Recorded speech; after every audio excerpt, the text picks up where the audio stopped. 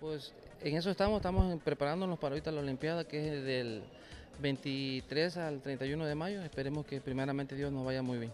De- tenemos 18 niños que participan en el selectivo. De esos 18 niños, casi la mayoría son con, eh, ya han repetido Olimpiadas este, en sus categorías. Eh, la verdad es un equipo muy conjunto, muy motivado, estamos muy contentos y la verdad echándole muchas ganas todos para participar ahorita en la Olimpiada.